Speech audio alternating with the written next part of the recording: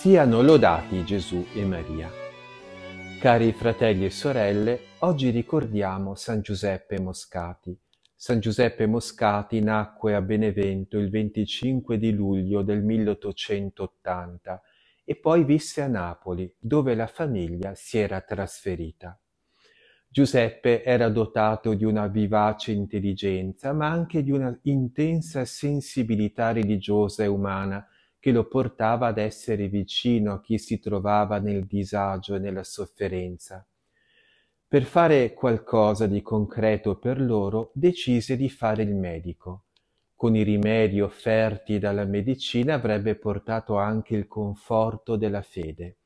Studiò con impegno tanto da riuscire a laurearsi a soli 22 anni con il massimo dei voti partecipò ad alcuni importanti concorsi che vinse, aprendosi la strada per una brillante e comoda carriera.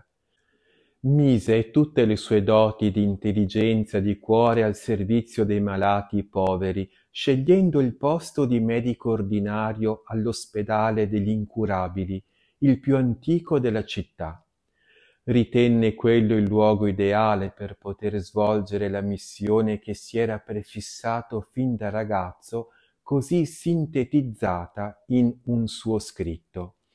Negli ospedali la missione dei medici è di collaborare all'infinita misericordia di Dio, aiutando, perdonando e sacrificandosi. A questo programma ispirò la sua vita di medico, dedicandosi senza risparmio a lenire le sofferenze degli altri, sia nella quotidiana assistenza ai malati in ospedale o andandoli a visitare nei miseri tuguri dei quartieri più poveri della città, sia dedicandosi allo studio e alla ricerca per aggiornare le proprie conoscenze da porre al servizio dei malati. Nelle diagnosi era bravissimo. In un tempo in cui gli strumenti di analisi e di ricerca erano quasi inesistenti, l'individuazione della malattia era affidata alla preparazione e all'intuizione del medico. E in questo la capacità di diagnosi di Moscati sorprendeva gli stessi colleghi che vedevano nelle sue diagnosi qualcosa di miracoloso. Lui con molta umiltà rispondeva che aveva una fonte segreta cui attingeva a piene mani ed era l'Eucarestia, alla quale si accostava ogni giorno. Dio è l'artefice della vita, era solito dire, noi siamo i suoi collaboratori, ma il più lo fa lui.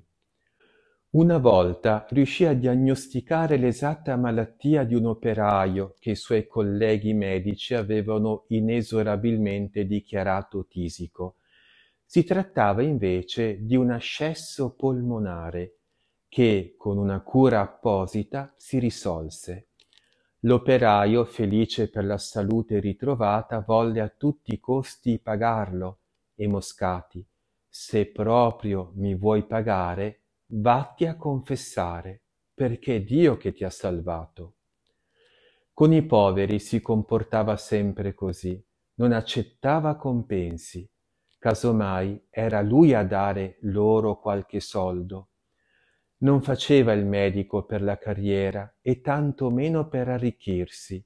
Come San Francesco d'Assisi aveva preso sul serio la povertà evangelica a essa confermava la propria vita. Viveva da povero e con i poveri spartiva quello che aveva. Assisteva ad esempio un anziano signore che viveva in uno dei miserabili tuguri della città e, non potendo andare a trovarlo ogni giorno, lo aveva invitato a recarsi tutte le mattine a fare colazione, avrebbe pagato lui, al bar di fronte all'entrata dell'ospedale. Andando al lavoro gli aveva detto darò un'occhiata all'interno del caffè. Se vi vedo vuol dire che tutto va bene, altrimenti verrò a farvi visita a casa. Quando nel 1911 Napoli fu colpita da una terribile epidemia di colera, il medico San Giuseppe Moscati non risparmiò tempo ed energie. Molti poveri se la cavarono grazie alle sue cure e altri morirono con il conforto della fede che lui aveva loro portato. San Giuseppe Moscati, medico buono e santo che aveva posto la sua intelligenza e il suo cuore al servizio dei poveri e dei sofferenti, morì in età ancora giovane, a soli 47 anni, il pomeriggio del 12 aprile 1927.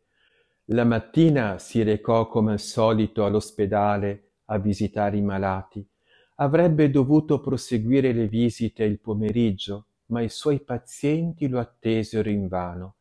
Verso le quindici avvertì un intenso malore.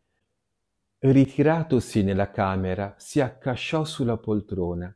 Sto male, disse ai fratelli che lo avevano visto impallidire.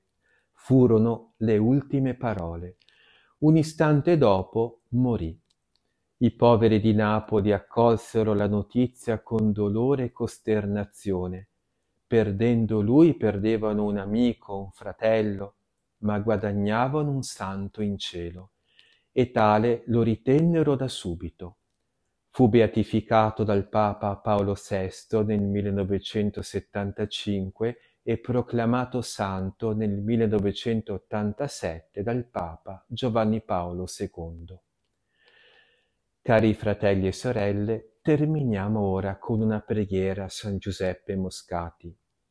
O medico santo e compassionevole San Giuseppe Moscati, nessuno più di te conosce la mia ansia in questi momenti di sofferenza. Con la tua intercessione sostienimi nel sopportare il dolore, illumina i medici che mi curano, rendi efficaci i farmaci che mi prescrivono fa che presto, guarito nel corpo e sereno nello spirito, possa riprendere il mio lavoro e dare gioia a coloro che vivono con me. Amen. Gloria al Padre, al Figlio e allo Spirito Santo, come era nel principio e ora e sempre, nei secoli dei secoli. Amen. San Giuseppe Moscati, prega per noi e per intercessione della Beata Vergine Maria di San Giuseppe e di San Giuseppe Moscati, vi benedica e vi custodisca il Signore Onnipotente e vi liberi da ogni male. Nel nome del Padre, del Figlio e dello Spirito Santo. Amen. Siano lodati Gesù, Giuseppe e Maria.